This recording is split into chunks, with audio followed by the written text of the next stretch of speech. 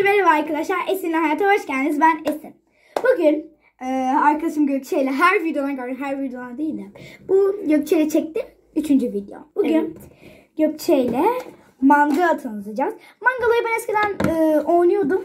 Ama şimdi bıraktım ve unuttum. Bugün Gökçe ile tanıtacağız.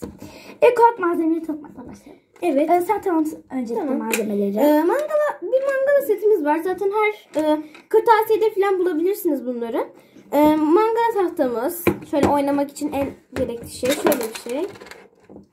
Ve mangala taşlarımız var. Bu arada arkadaşlar iki kişilik oynanıyor. İkiden Evet. fazla oynanamaz. Evet. Oynanamaz arkadaşlar. Ee, mangala taşlarımız var şu şekilde. Evet. Şimdi Ee, şimdi böyle tutacaktık değil mi? Evet. Şöyle tutacağız arkadaşlar. Şöyle. şimdi Ee, biz evet. bunu takarız. Evet şimdi arkadaşlar nasıl oynandığını geçelim. Evet. evet. Evet arkadaşlar mangalımızı kuruyorsunuz. Ee, Evet, Anlat. kurduk. Ee, şimdi taşları dörder dörder bütün e, kaseleri boşluklara koyuyoruz. Bir tane Evet.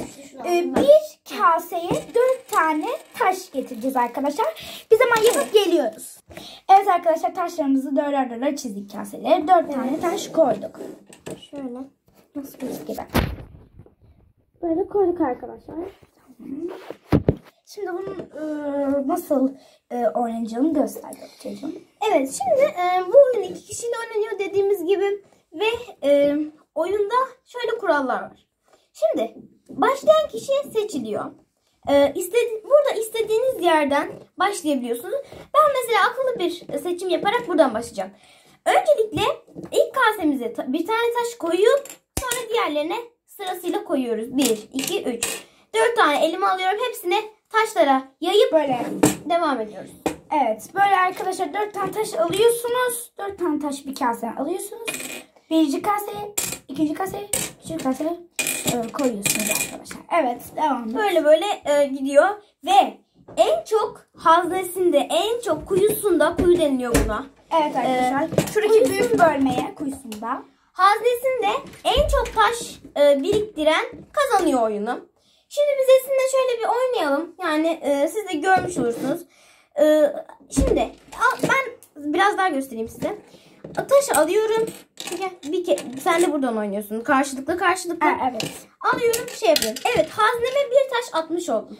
Ama eğer bu taşlar ama eğer bu taşlar çok artarsa ve elimde daha çok kalırsa o zaman hepsini hazneye koymuyorum. Diğer oyuncunun kuyularına koymaya devam ediyorum. Böyle karşıdaki oyuncunun kuyularına koymaya devam ediyorum. Aslında ona çok yararım oluyor. Tekrar böyle dönüyorum. Evet şimdi videoyu bitirelim çünkü çok çok çok uzun olacak. Ee, evet arkadaşlar bugün mangalayı tanıttık. Ee, oynayabilirsiniz arkadaşlar da yine söylüyorum iki kişilik güzel bir oyun. Aklınızı geliştirir arkadaşlar santrança benzer bir oyun. Sizi çok seviyorum. Kendinize iyi bakın. Hoşçakalın.